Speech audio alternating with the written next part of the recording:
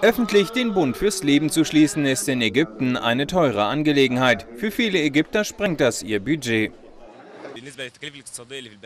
Die wirtschaftliche Lage des Landes macht uns das Leben schwer. Für junge Leute aus der Mittelschicht ist es unmöglich geworden, einfach so zu heiraten.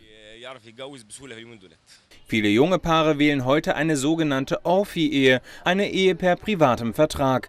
Die Verbindung bleibt meistens geheim, sie ist nirgendwo registriert.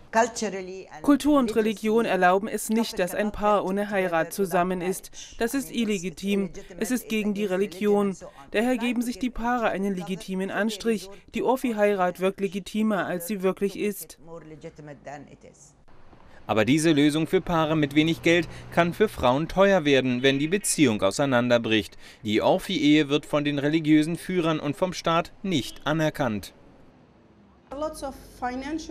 Es gibt eine Menge finanzielle Rechte für Ehefrauen wie die Mitgift und es gibt ein Trennungsgeld nach der Scheidung oder die Rente, wenn der Ehemann stirbt. All diese Rechte gibt es hier nicht.